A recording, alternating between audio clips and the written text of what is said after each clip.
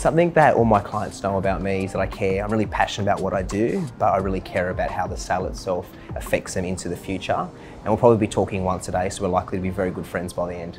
I think most agents tend to focus on their highest or biggest sale, uh, which tends to be a career highlight. For me personally, it was actually my first sale um, when I was just 17. I was working part-time, still at high school actually, but just working and getting that experience at a young age, which really put me on the path and led me to where I am now. It's definitely my career highlight. I go above and beyond for my clients by always ensuring we go the extra mile. It's not just a transaction for them and it's not a transaction for me. My motto is clients for life, so always striving to go beyond the actual sale, help them through the process start to finish. There's been many times I've actually helped clients renovate their properties and actually add value. One example in particular is where I helped negotiate the sale of the property for market value where the vendor was really happy, but actually helped paint the vision for the buyer, which we did a complete overhaul and created one of the most special properties in the area. And that's now turning to another client for life and also a good friend.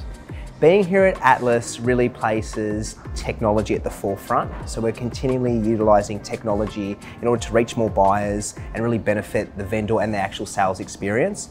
But more than that, it's actually the team structure. So even though you've got one or two points of contact, you've actually got the whole entire sales team working for you.